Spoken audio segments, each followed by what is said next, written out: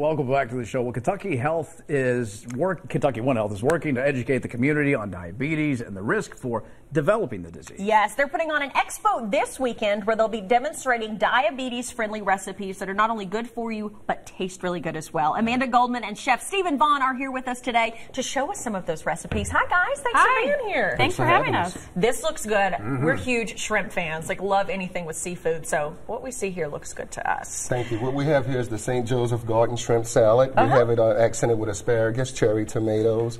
We saute the shrimp lightly in paprika, and it's onions, and et cetera, et cetera. I, I would imagine Looks good. the, the the thing that you're trying to convey is people t- is you don't have to sacrifice taste, and you can eat really healthy but really have a good meal. Right, correct, correct. So how did you kind of formulate this recipe? What made you choose to put kind of these flavors together and, and go with shrimp maybe above other, you know? Well, I love seafood. I'm a seafood lover. Shrimp doesn't carry much of, um, I don't know the dietetic definition of it, but it's a good protein, small Yeah. protein source, especially with your fresh vegetables. And the good thing about this salad is very diverse. You mm. can saute all your ingredients, or you can poach it, or you can keep it raw in nature. Mm-hmm. And I have a couple of different dis- um, displays, deconstructed, and this is more traditional way right here. Gotcha. yeah, yeah. And And, can- it uh, just, oh, sorry, go ahead. You can also substitute out chicken for it or put a steak on it instead if you don't like seafood as well. So it's very versatile. It's a great presentation right there. It really is. How important is it to teach people who may already have diabetes different ways that they can, as Lee said, still eat really well, but eat kind of tailored to their limitations?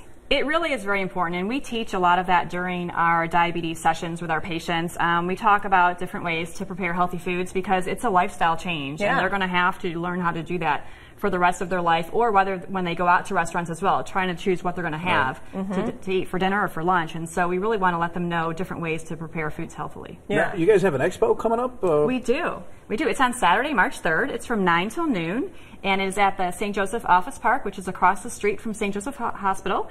And uh, we're going to have different screenings there. So we'll have foot screenings, we'll have vision and hearing screenings, we'll have hemoglobin A1C uh, screenings, and we're also going to have our keynote speaker, who is uh, Derrick Ramsey, secretary. Oh, yeah. Uh, we're very excited about him, and then also we're excited about our local celebrity chef is going to be joining us, and that's Chef Josh Smouse from Honeywood. oh yeah. So Oh, he's going to come. Yeah. So we're excited to partner with him, and it's going to be a really great event. Yeah. And it's free. It is free. It's free. And it's important because statistically, Kentucky's not doing very well when it comes to the fight against diabetes. Are right. Yeah. That's right.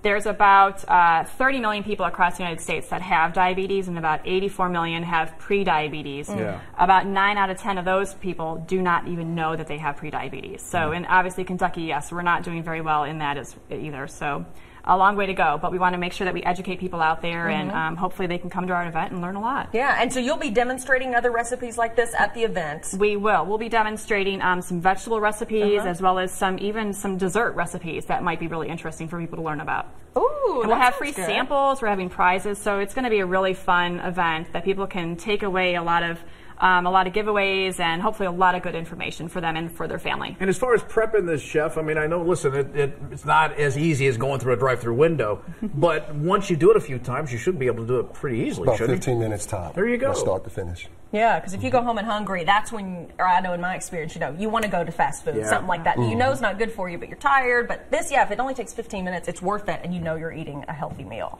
Yeah. you? All right, guys, good stuff. All right, to register for the third annual Diabetes and Nutrition Expo, visit KentuckyOneHealth.org slash Diabetes Expo. Thank you guys for coming Thank in. you. We appreciate it. Good to see Awesome. All right, stick with us. Pet of the Day is coming up next.